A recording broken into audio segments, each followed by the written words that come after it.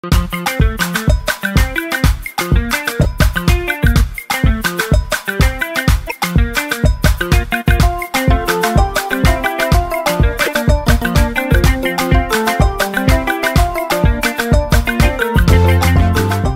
Bien le bonjour, dames et messieurs, bienvenue dans votre émission Fafa, l'émission dans laquelle on se regarde et on se dit les vérités. On ne tourne pas autour des questions car les questions sont véritablement et comme d'habitude à un certain niveau tonitruantes. Donc euh, vous reconnaissez aujourd'hui là, en ce moment, assis là devant vous, la voix de la légende vivante Serge de Fallait que je suis votre humble serviteur. Sans oublier mon binôme de tous les temps, celui-là même qui ne tarde pas à envoyer les bombes et les missiles, Anaconda. Anaconda, Anaconda. Alors, pour ce numéro assez spécial, nous recevons quelqu'un qui nous vient du Cameroun. Ce pays que nous aimons beaucoup, ce pays frère, euh, avec euh, ses beautés, ses femmes euh, suaves et toutes belles. Elle est venue aujourd'hui ici même en Côte d'Ivoire pour représenter ce pays avec son style musical trash. Dames et messieurs, recevez dans Fafa Mimi. Alors Mimi, comment tu vas? Je vais très bien. Bonjour Anaconda, bonjour Cyril. Merci. Bonjour, Oh. Anaconda, tu as vu qu'on nous salue comme ça hein, Vraiment. hein. C'est une première. C'est déjà une pour première. anticiper les missiles. hein. Bon, ça, on sent que tu veux nous blaguer un peu. Mais bon, comme on est imblagable, on va commencer comme ça. Alors, Mimi, Oui. dis-nous, tu débutes ta carrière dans le cinéma. Ouais, tout à fait. Et, et mais comment ça s'est fait cette transition jusqu'à la musique tout d'un coup comme ça? Alors, j'ai commencé ma carrière dans le cinéma effectivement quand j'avais 17 ans. J'étais dans une région, euh, la région du sud-ouest du Cameroun, à Boya. Ok. Et euh, c'est dans le cinéma que j'ai découvert les talents de chanteuse. Parce que les, les messieurs avec qui je travaillais, parmi eux, il y avait un qui faisait de la musique et qui m'avait demandé par ricochet de faire un, les soundtracks de la série dans laquelle je tournais. Ouais, le soundtrack. Voilà. Ok, d'accord. Donc, c'est c'est par rapport, enfin, c'est grâce à ça qu'il a découvert que j'avais un grain assez spécial et il m'a encadré. D'accord. Anaconda, Yes, voici notre invitée Mimi. Elle part déjà, euh, euh, déjà assez. Elle est un peu, tu vois, un peu, elle s'exprime assez très bien. On dirait la beauté de la gueule en train de t'intimider. Tu sais aujourd'hui là? Ah, défalé. Habituellement, tu parles bien là, là, tu sais quoi? Entends-moi, mais après l'émission, je vais l'envoyer chez Kenzo. On va aller saluer notre parrain Kenzo. C'est important. Hmm? Si tu le permets après l'émission. Dis-moi, la personne qui t'a orienté vers ton premier single là, bon, je pense que tu étais satisfaite ou pas? La personne n'a pas pu t'orienter dans une chorale? Non, pas du tout. mais comment tu as trouvé ton premier single? Mon premier single, c'était en 2016, parce que après justement le cinéma et tout ce qui, tout ce qui allait avec, je suis allée à Douala. Ça, c'est la capitale économique du Cameroun. C'est là où j'ai commencé donc la musique euh, à l'université, À l'université. dans le club musique. D'accord. D'accord, et j'ai commencé là-bas. Ensuite, j'ai intégré le- la team de Stanley Eno. C'est le un Oui, rappeur camerounais. ok, ouais. Donc, j'étais en quelque sorte comme sa backeuse. Et c'est là où, enfin, c'est le déclic en fait. Donc tu as fait un peu des rap et tout ça? Non pas le rap en tant que tel, c'est juste que je baquais. Et après, je, on faisait le remix de sa chanson avec succès père sur scène et pour, pour donner une autre coloration à la chanson. Après ça, voilà, ça m'a encouragée et je me suis lancée dans mon premier single en 2016. Tu as aimé en tout cas. aimé beaucoup parce que c'est mon registre. En fait, j'aime beaucoup le reggae dancehall. J'ai commencé par ça, mais malheureusement, le public n'a pas beaucoup adhéré. Waouh. Oui. Label Ampi, ça parle de quoi? Ampi Company, c'est le label qui m'a signé en 2017. Le label de Pete Bacardi? Tout à fait. Ah, que je salue au passage, Pete Bacardi. Ok. Ben, moi, je pense que c'est déjà pas mal. Mais il y a un autre truc aussi, qu'on, euh, une autre information qui nous revient récurremment. En fait, euh, tu as aussi participé beaucoup en étant un mo- modèle pour les clips, c'est ça? Oui, oui. Là, c'est quand j'arrive à, à Douala parce que j'essaye de. Je cherche des repères en fait. Et c'est pas facile d'accéder vraiment à ce cercle de musique fermé là. Ah, c'est ça, hein? Mais euh, on me contactait beaucoup plus pour être modèle des clips vidéo, des comme vidéos. Mais c'est quoi des mo- modèles de clips sexy, chocolat à l'époque, j'étais encore toute petite et toute naïve, donc sexy. Ah, parce que oui, parce que j'ai regardé les vidéos où tu étais modèle là. C'était vraiment à l'école c'était assez- maternelle, hein. C'était assez. C'était pas ça. Donc, ah, en fait, à l'époque, tu étais toute naïve, petite fille. Aujourd'hui, tu as quel âge? Non, je dis j'ai 30 ans. Aujourd'hui, tu as 30 ans. Il y avait polémique sur le Le nom du père de ton fils. Tu cachais ça? À dû à quoi 27 ans. À 27 ans. Parce que c'était ma vie privée et beaucoup de personnes pensaient que le, le père de ma fille était dans le showbiz, chose qui n'est pas vraie. Et le père de mon enfant a toujours voulu ne pas Pareil dans le showbiz. Non. Pourquoi il s'y reprochait quoi C'est quelqu'un qui n'est pas dans le showbiz en fait. Il est dans une autre vie ministérielle. Ministériel. Ah, d'accord. Enfin, mais attends, quelqu'un, il n'aime pas de showbiz. Mais il Mais fait il enfant avec quelqu'un le qui est dans le showbiz et il vit se cacher. Lequel ne choisit Oh, pas mais c'était le mari de quelqu'un, une copine. Non, pas du tout. Non, je, je- non, je ne suis pas encore à ce niveau-là. Peut-être un jour, ça peut arriver. Mais euh, pour l'instant, non.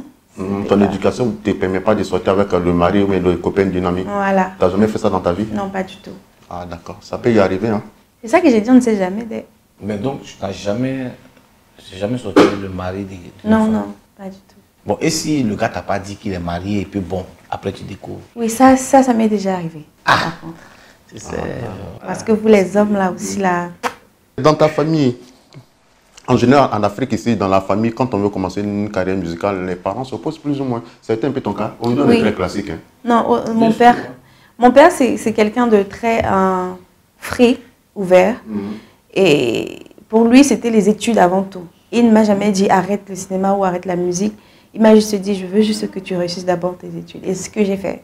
Après mon master 2, je me suis véritablement lancée dans la musique et dans le cinéma aussi.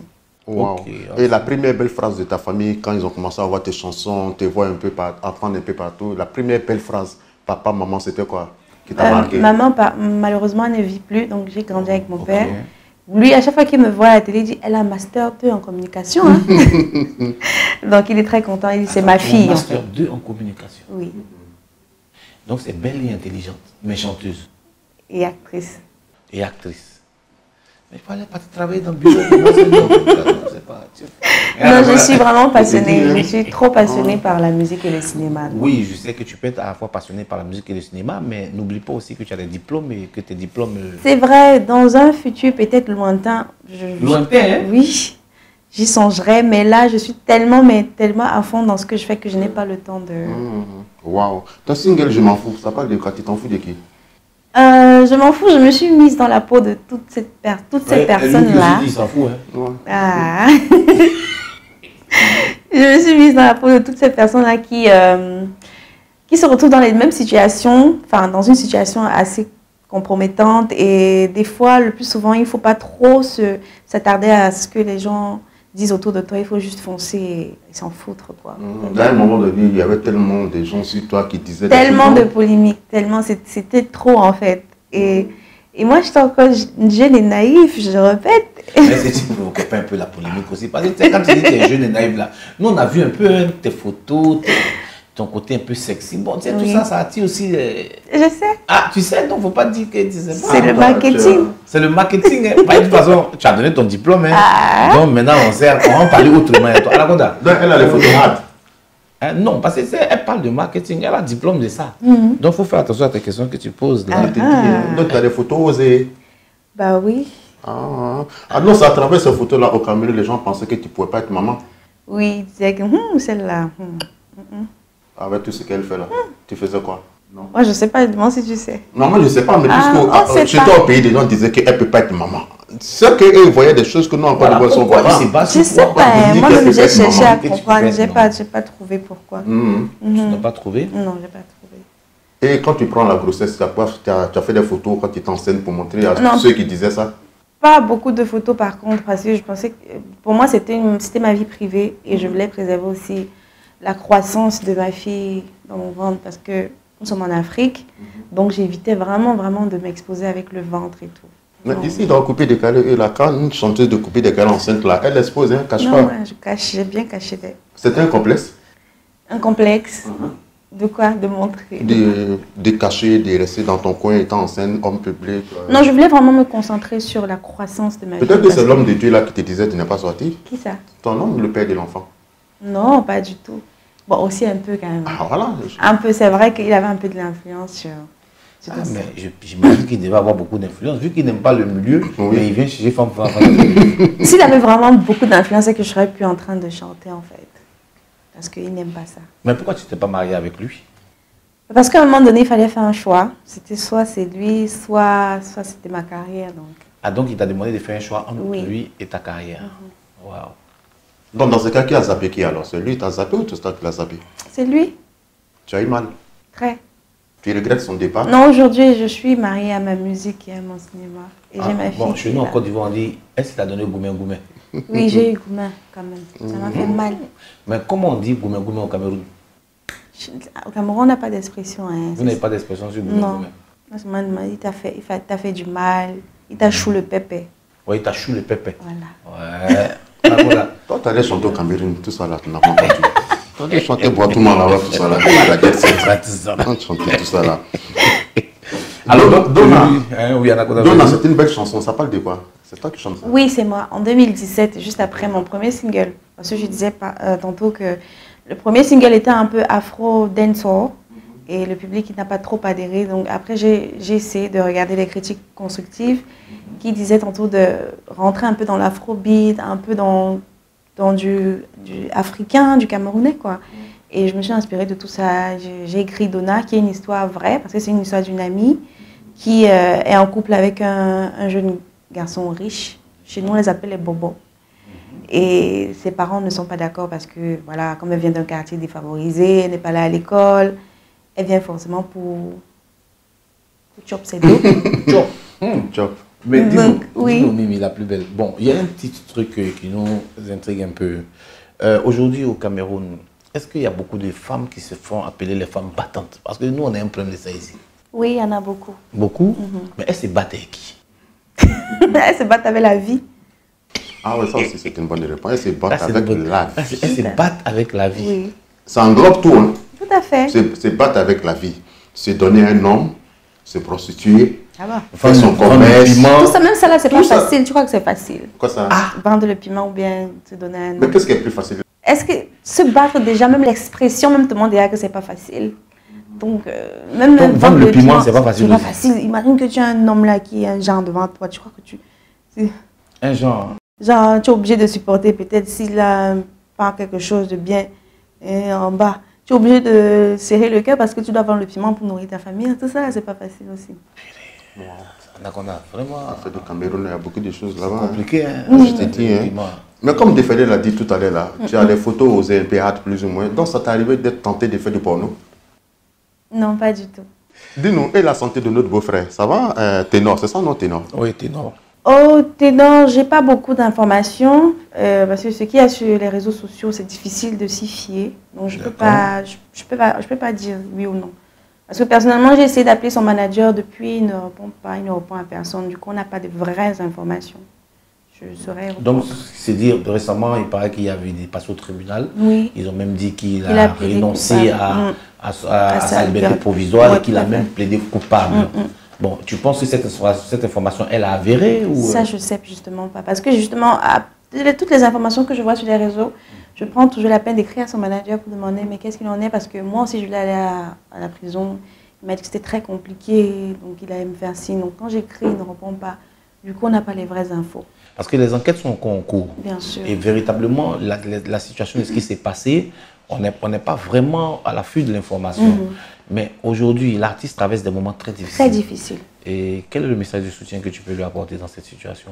Comme j'ai dit sur les réseaux, je ne sais pas si euh, mon message est arrivé chez lui ou pas, mais euh, c'est beaucoup de courage, de prier et d'être fort et voilà, prendre conscience de, que la vie ne tient qu'à un bout de fil. Ouais, ok, d'accord. Donc c'est son message de soutien à l'artiste ténor. Euh, maintenant, dis-nous dans le milieu, est-ce qu'il t'est déjà arrivé de qu'on te fasse une proposition indécente? Tu sais ce que c'est? Oui. Une proposition indécente, par exemple, quelqu'un qui te dit bon, euh, si je couche pas avec toi, tu vas pas passer sur ma télé, ou bien c'est déjà arrivé? Oui, une fois. Une fois. Mhm. Tu as Ah, cédé Non, pas du tout. J'étais encore jeune et naïve. Jeune et naïf, c'est-à-dire. Tu tu insistes là-dessus. Parce que ton naïf que tu dis là, faut arrêter ça. Parce que quand on est jeune et naïf, c'est là on se laisse aller pas. Après, Pas on, est conscient. J'étais encore jeune et naïve. Bon, bref. Ah oui, euh, une fois, euh, monsieur me l'a demandé, monsieur très influent dans le milieu au Cameroun. Et je venais de sortir ma la vidéo, la, ma première vidéo. D'accord, première vidéo. Et quand je lui ai montré la vidéo, il m'a dit que non, il y a Grant là. Apparemment, le, réalisateur avait fait une pub de, de Grant D'accord. depuis le début jusqu'à la fin de- du clip sans s'en rendre compte. Donc c'était soit on retournait la vidéo, soit bah, le monsieur que j'allais voir il usait de ses contacts pour pouvoir passer sur le truc. Mhm. Donc quand j'allais le voir, il m'a dit, bah, tu viens me voir à mon tel le soir et on en parle, tout d'un verre et tout.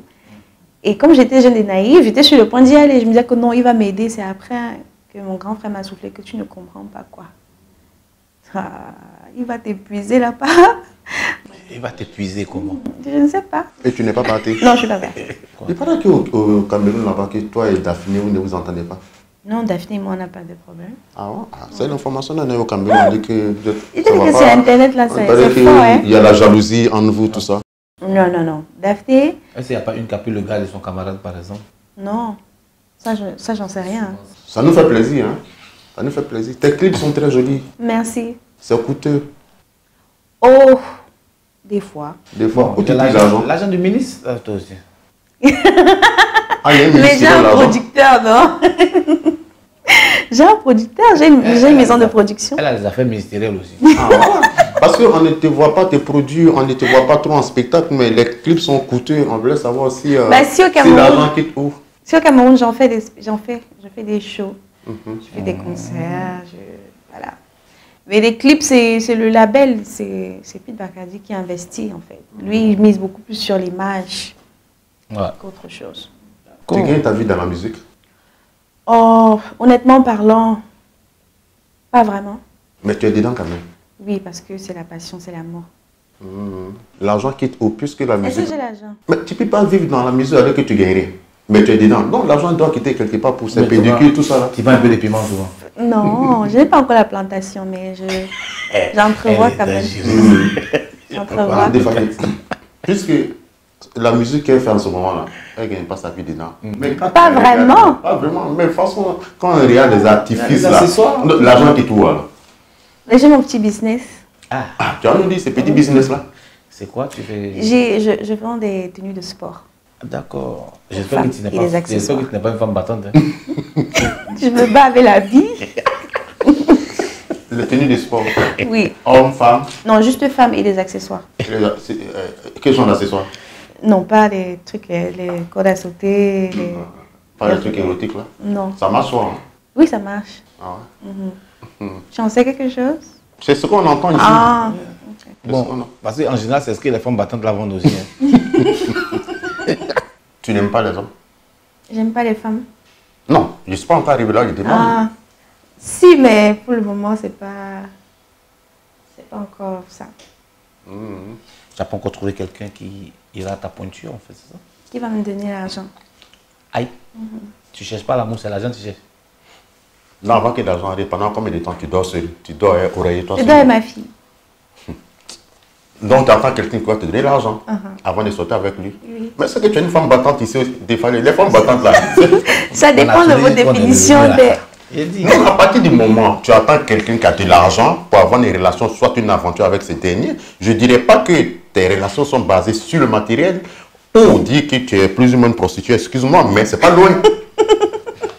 Non, je suis juste réaliste parce que aujourd'hui, euh, je suis, j'ai beaucoup de personnes à ma charge, c'est-à-dire ma fille, ma, beaucoup, toute une grosse famille derrière moi, et je suis, je m'en occupe toute seule. Non, maintenant, avoir un homme qui va, qui va venir me donner les mots de tête, non, j'ai pas besoin de ça. J'ai besoin d'un homme qui va venir me enfin, soutenir Financièrement. financièrement d'abord. Toi, tu es une vraie. Mais en fait, je t'explique un peu. Ce que certaines cachent là, elle préfère te dire où je dis, Voilà, te dit où il faut. Certaines sont là, elles voient ça, tu vois un peu. Donc elle est franche. Voilà, certaines sont là, à gauche, à droite, à gauche, à droite pour de l'argent. Alors qu'elle te dit au clair, tu n'as pas l'argent, il ne faut pas venir. C'est comme ça au Cameroun, toutes les Camerounaises. je ne sais pas, mais du moins je suis comme ça. Donc en fait, du genre, ce que mon binôme veut dire, il veut dire par là, en fait, toi, tu veux même pas avoir un petit gars et puis tu vas aller tricher pour aller prendre l'argent dans un coin pour revenir. Non, non. Autant tu es dans le coin où il y a l'argent. Oui, tout à fait. C'est Bon, comme ça ça. aussi, c'est une manière Mais de Samuel, voir. le il ne te voit pas là-bas. Lui, il a beaucoup d'argent. Non, il ne m'intéresse pas. Lui, il, a- il est marié en plus. Samuel, le il Le ne t'intéresse pas. Non, il ne m'intéresse pas. Ah bon? Vrai de vrai. Ok. Toi, comme toi, là, pas beaucoup. Ah, Samuel, le il ne t'intéresse pas. Pas du tout. Le Goliath. Tout comme DJ Drogba, il m'intéresse. Et lui, quand c'est à Ah, noir, le là. Goliath t'intéresse pas aussi Non. Hein? Moi aussi, j'ai marié. Lui, Oui, j'ai déjà vu comment ça brillait sur son doigt. Elle a déjà vu, ça brille. Gars de couper des Ça câbles, il. Ah, il ne peut pas couper des avec moi. Ah. Pardon? Il ne peut pas couper décaler avec moi. Parce qu'il est marié. Mais ce que tu dis, c'est un peu dangereux pour la communauté camerounaise. T'assois là pour dire que toi, en tant que camerounaise, tu as besoin de quelqu'un qui a de l'argent pour te donner. C'est-à-dire que s'il y a quelqu'un qui arrive qui a de l'argent, après un mois, deux mois de relation, s'il n'a plus d'argent, qu'il passe, celui qui vient encore, s'il a de l'argent, je ainsi de suite. Malgré tes diplômes. Non, c'est pas ça. Si tu ne me comprends pas. Si tu viens avec de l'argent, et, moi, je sais pas que j'ai rien, je, m'en sors quand même un peu. Ensemble, on va construire quelque chose de, dur. Ça peut pas finir puisque dès que tu viens avec ton argent, nous on investit déjà, tu vois, parce que moi j'ai beaucoup de projets. Je, suppose que. mais il y a des investissements qui tombent à l'eau aussi. Je suppose que lui aussi il a beaucoup de projets. Donc je pense que si à l'instant où lui et moi on se met et que on commence à avoir des sentiments l'un pour l'autre, s'il tombe, je vais le soutenir. C'est pas parce que ok son argent. Ah, c'est ça qui nous faisait peur. Non, pas du tout. Sinon, si vous avez investi, que est Si c'est que ça, c'est que je devais être peut-être à mon 20e gars maintenant, parce que les gens qui ont l'argent, ils, m'approchent tous les jours, mais maintenant, il faut qu'il y ait aussi le feeling. Ah, exigeante, hein C'est-à-dire qu'il faut avoir de l'argent, il faut avoir le feeling. Oui. Ah. Bon, ok. Donc, au Cameroun. Donc, Mimi, parlons un peu, parlons de ta carrière artistique, parlons un peu de ton dernier featuring. Hein? Oui, avec comment, Loco. Avec Loco, comment s'est fait la collaboration, votre rencontre? C'est sur quelle base euh, vous avez fait? Il pas les mecs qui te sortaient Loco. Non, Loco, Loco c'est mon petit frère déjà, je ne sors pas les enfants. Et il n'y a pas d'âge. Hein? Non, moi, il y a l'âge. C'est un artiste quand même, comment est ton petit frère C'est mon petit frère. Mais petit frère. En âge? Oui, mais petit frère. Pour moi, ça compte. Moi, j'aime les hommes mûrs. Mais elle est l'exigente. Ah, dit non. Ok, d'accord. Donc, Loco et moi, on s'est rencontrés en 2015. D'accord. Et j'étais très fan déjà de ce qu'il faisait. Tu n'appelles pas maman, j'espère Non, il m'appelle Mel. Ah, d'accord, d'accord, ok. il, était, il était déjà très fan de ce que je faisais. Et lui aussi, et moi aussi, j'étais très fan.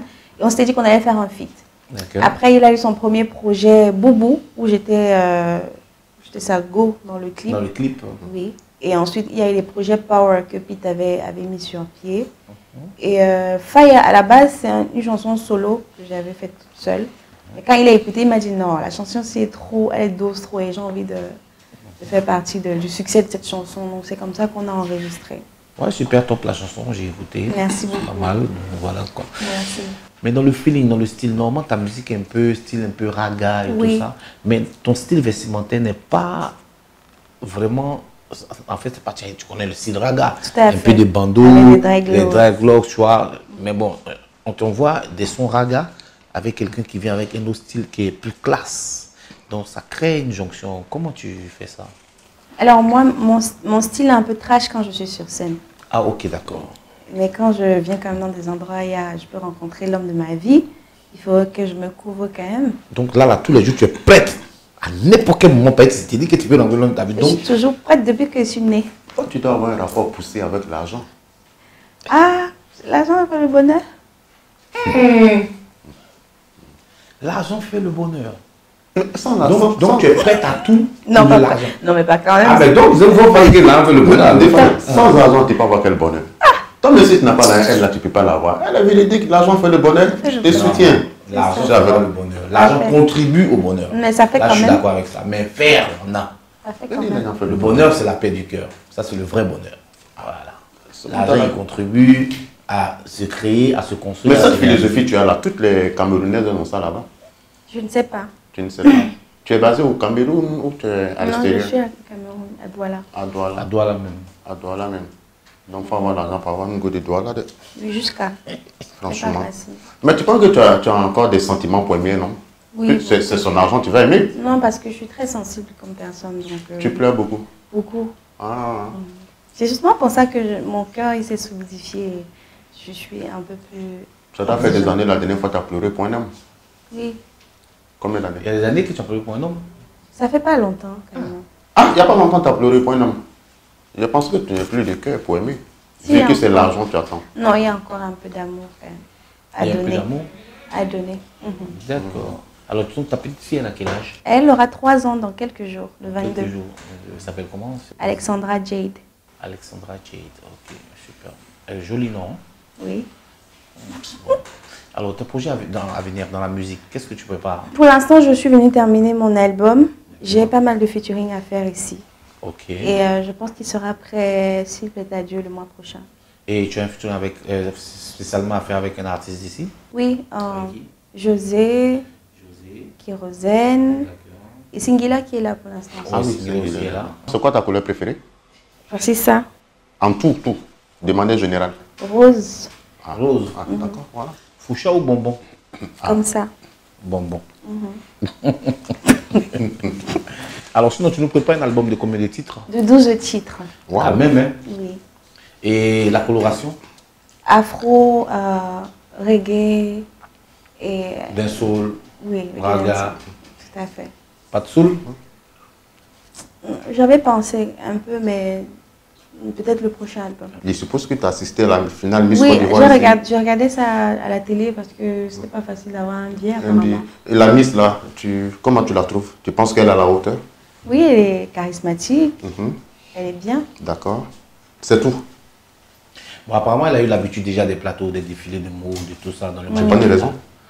Donc, C'est euh, pas une raison de quoi? C'est pas parce qu'elle a l'habitude des plateaux, des défilés de mode que. Bon, dès qu'elle arrive, elle lui a, elle lui a mis Non, en tout cas, quand moi elle est passée, j'ai ressenti de ce qu'elle dégageait en fait. Elle dégageait un truc. C'est du charisme. Oui, elle dégageait un truc de fou. Tu- on ne va pas s'arrêter sur sa plastique. Pour moi, la plastique, ça vient après, mais Ouais. C'est- comme tu dis, c'est c'est le charisme en fait. Donc je pense qu'elle peut vraiment valoriser La voilà, Côte d'Ivoire. la Côte d'Ivoire sur tous les plans, c'est-à-dire si elle a appelé à, à- à se rendre à X ou à Y endroit, je pense que qu'elle parle, qu'elle se place là, Mhm. elle attire l'attention. Ah, donc chapeau à. Chapeau au commissaire. Au commissaire, notre nouvelle Miss. Ouais. aussi. Il y a Voilà. beaucoup naturel. Mhm. Ah ouais, même tes ongles là, c'est naturel. Non, c'est des faux, mais quand je dors, je rentre à la maison, j'enlève ça comme la perruque. C'est du boulot, hein. Non, pas du tout. C'est des press on nail. Donc j'enlève ça, je me pose la table avec la perruque. Le matin, je remets. Et ça, ça te prend combien de temps comme ça pour enlever et pour remettre? Une minute. Une minute? Oui, parce Wow. que c'est pas la colle. euh, Ah ouais. La colle En tout cas, c'est très joli. Les, les jeux de couleurs là-dessus. Merci. Et après, toi-même, tu les reposes aussi. Oui. Comme ma perruque. Donc, la perruque, tu enlèves, les ongles, tu enlèves. Mhm. Tu trouves pas que ça fait un peu trop d'artifice que tu enlèves, que tu reprends, tu remets Malheureusement, on est dans un monde où tout ça là, ça compte en fait. On a Oui, besoin de vendre du rêve. Quand on voit Mimi comme ça, waouh, mais euh, obligé de tout le temps être comme ça. Oui. C'est important. Donc, pour prendre les lèvres, là, ça, ça peut t'arriver des défaits de certaines parties de ton corps. Oui, je- j'ai l'intention. Ah, tu as l'intention? Quelle Mhm. partie? Euh, mes seins. Mais là, c'est bon, tes seins. Je veux dire, je, je suis appelée à avoir d'autres enfants. Mhm. Donc après, peut-être- après encore deux enfants, je vais refermer ça. Alors, dis-nous, Mimi, Oui. là, tu es dans Fafa. Ok. Les Ivoiriens regardent beaucoup cette émission. Super, maman. Aujourd'hui, ils voient Mimi qui a Fafa, vient présenter son nouvel album. Quel est le titre de l'album? Nos limites. Bon, tu as vu, tout ce qu'on a dit là, en fin de compte, Le titre de l'album, en train de dire, corroborer tous tes propos, tu dis non, que tu as- il n'y a pas de limite, tu vois, tu as nos limites. Non, mais c'est pas dans le sens péjoratif. C'est dans un sens où euh, il faut toujours aller plus loin que le bout de votre nez, Oui. mais tout en restant digne. Nos limites. Tu n'as pas de limites et puis tu es digne. Oui, bien sûr. Ça Je dépend pense maintenant de- que la dignité n'a pas de limites. Non, la, dignité n'a de limites. hein. Ça dépend maintenant Ah, de comment chaque d'accord. personne va percevoir le message. Non, mais Mimi, la dignité a une limite. Ça, c'est clair. Quand tu dis que tu es digne, là, c'est que tu as une limite. C'est pour ça qu'on dit que tu es digne. hein. Mhm. Sinon, c'est pas parce que le mot, est- c'est un mot comme ça. C'est parce qu'il y a une limite. Tout à fait. t'es chrétien ou musulman Chrétienne. Ah, Tu vas à l'église? Oui. Beaucoup? Bon, c'est vrai que c'est un peu compliqué maintenant parce que les gens ils vont maintenant pour prendre des selfies avec et ça me même mal à l'aise. Mais Tu vas pas pour les gens, tu vas pour toi? C'est vrai, mais je suis obligée tout le temps de fuir avant et même comme ça. Mais, mais je prie beaucoup. Ton mot de fin pour les fans, ceux qui te regardent, ceux qui t'apprécient, un peu, tu peux un peu de, de jeu des yeux un peu pour nous donner. Bon. Alors, j'ai découvert que j'ai beaucoup de personnes qui m'apprécient énormément ici en Côte d'Ivoire. Euh, depuis que je suis en Côte d'Ivoire, je reçois beaucoup de messages et tout. Et ça fait chaud au cœur de savoir que à un moment donné, ton travail est quand même reconnu hors de ton territoire. Pour ça, je dis merci. Et euh, le conseil que je peux donner à ces jeunes-là qui me prennent pour modèle, c'est de être patient, avoir la foi et travailler fort. Alors, dames et messieurs, merci pour tous ceux qui nous suivent des quatre coins du monde, vous qui likez les pages, euh, vous qui suivez toujours nos émissions Fafa. On vous remercie pour votre soutien, sans oublier Kenzo Cashmoney, l'homme toujours d'Anaconda, Mathilde Erika, la marraine, sans oublier Ange Bleu, le cultivateur. Merci à tous ceux qui nous suivent, tous ceux qui nous soutiennent. Et encore félicitations à M. Mori Kamara pour le mariage. On est ensemble. Que Dieu vous bénisse. Merci. Amen.